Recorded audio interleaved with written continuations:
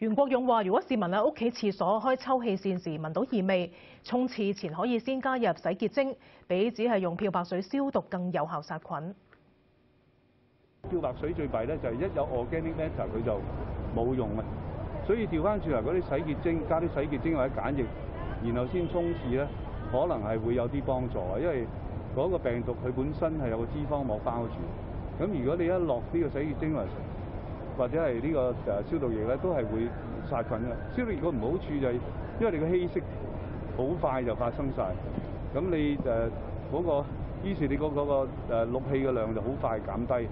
咁洗潔精咧，佢通常即係當當然都會稀釋，但係佢會即係總之你破壞咗個脂肪膜咧，你嗰個